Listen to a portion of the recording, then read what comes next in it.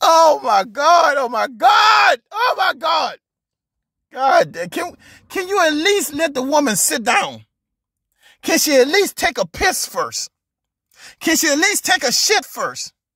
Can she brush her fucking teeth first? Before you start with the dumb bitch shit. See? You see, white people? This is why we have to stay woke.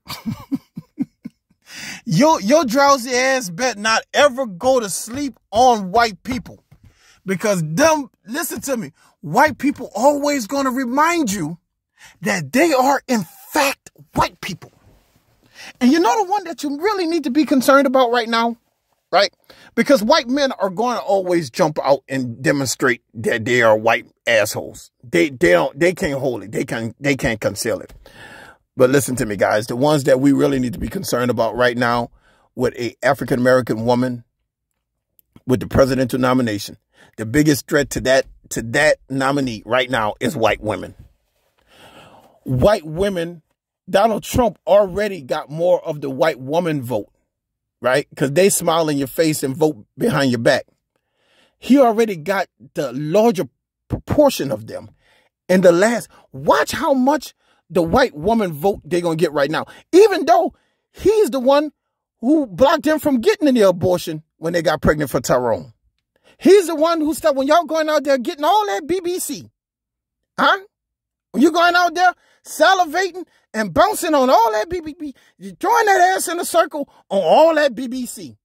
He was the one who stopped you from getting an abortion in Texas. Now your ass got to jump on an airplane from Dallas, right? Right? Or Houston.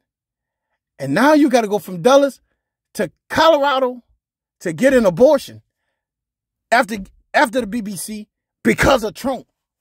Even though your uterus now has a, a barcode on it and you no longer have rights over your body, that white woman is still going to vote for Donald Trump.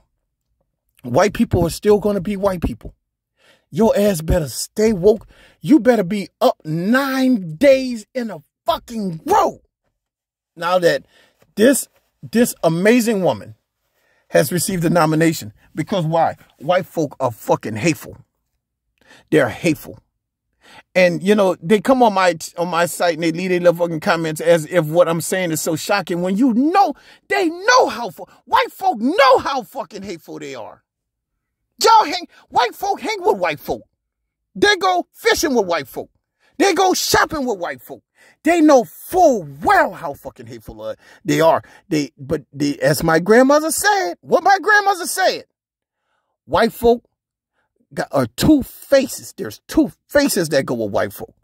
There's the face on the front porch, and there's another face in the kitchen. Grandmother said that shit. And but see, with the white men, they pretty much consistent with their hate. It's the white women. And so the only reason why I'm bringing this up because this is in fact a white man who said this shit. But I'm just reminded though, the, the, there's gonna this girl, Kamala, Kamala Harris is is up a, an enormous obstacle. This is an enormous obstacle. This is the first. This is a a, a woman of color, a minority, half black and half something else, who has a chance to be president of the United States. You don't think you don't think white people jealous of that shit? You don't think they're gonna want to stop that shit? Huh? What's what but see, we did it without them last time. We didn't listen to me. We didn't have white support last time. We had a we had a handful of white people. It was a handful of white people in this amazing place called Atlanta, Georgia. That's how we got Joe Biden. If it wasn't for a handful of white people, the ones who are in theater and shit in New York, you know, the cool ass gay people. If it wasn't for cool ass gay people who are white and Atlanta, Trump would be president right now. That's how close we came to being fucked over. And y'all around here with all of this gay hate and all of this shit, but if it wasn't for them, Trump would be president because they were the ones who saved our black ass. It was, in fact, Georgia. And it's going to take Georgia again. If you know anybody in Georgia, start paying a tithe to them. Start making sure they got gas money. Start sending them random cash apps and shit because it's going to take them again. Start checking on them and doing wellness check just on people who live in Atlanta and say, hey, man, I was just calling to make sure you're all right. You need some money? You need, hey, I got some extra, um, extra month space on my food stamp card. I want to send y'all some extra food. We got to keep, we got to make sure people in Atlanta, Georgia are alive and well because that's where all the decent white folk are. Because, because the rest of this country, we fucked. Because there's nothing in the rest of this country but assholes like this. Donald Trump thought Frederick Douglass was still alive. Donald Trump thought that they had airplanes in 1775 and you got the fucking audacity to call this woman dumb.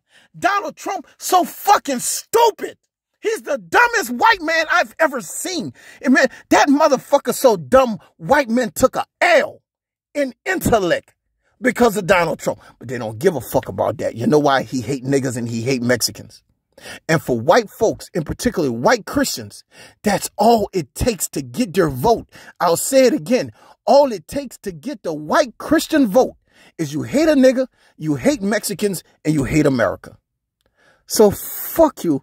Fuck you, bruh. Fuck you, white boy. Fuck you from every hill and molehill. Fuck you from every mountaintop in this country. Fuck you!